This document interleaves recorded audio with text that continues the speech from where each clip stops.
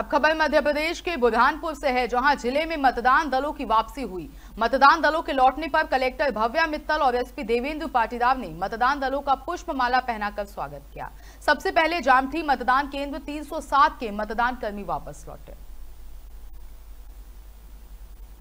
आपको बता दें कि कल ज़िले में मतदान की प्रक्रिया पूरी हो गई है, जिसके बाद मतदान दल वापस रवानगी की ओर बढ़ गए। बता दें कि बुरहानपुर से आपको तस्वीरें दिखा रहे हैं, जहाँ मतदान प्रक्रिया सकुशल संपन्न हुई। उसके बाद मतदान दल वापस अपने गंतव्य को पहुँच गए।